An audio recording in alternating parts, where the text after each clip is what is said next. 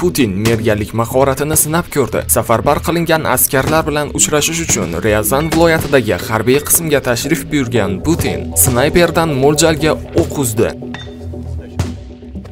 Putinning o'zi ham anoyi emas ko'rinadi. Vladimir Putin Ryazandagi safarbarlik qilinganlar poligoniga keldi. Uning yonida esa Shoygu bor. Rossiyadagi qurolli kuchlar hujumlaridan keyin Kiyevdagi xonadonlardan kelayotgan suvni ko'rib turibsiz. Do'stlar, urush juda yomon narsa, hattoki ichadigan suvingizgacha iflos bo'lib qoladi.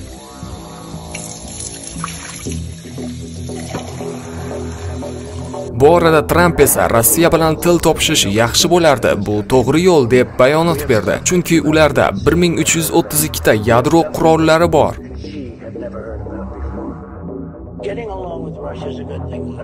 Bugun esa butun Ukraina bo'ylab yana havo trevogalari e'lon qilindi.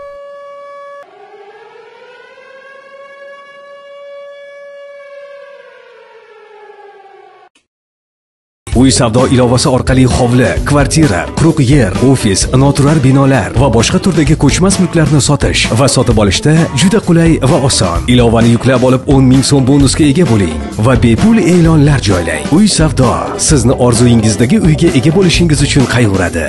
Uysavdo.com bilan yangi hayot sari. Bu orada esa Rossiya Qrim ko'prigidagi ta'mirlash ishlarini davom ettirmoqda.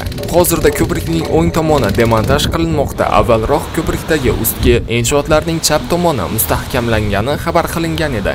Xo'sh do'stlar, bugungi videodagi ma'lumotlar haqida fikringiz qanday? Albatta kommentariyada yozib qo'ying. Videoga like bosib, kanalimizga obuna bo'lish esdan chiqmasin.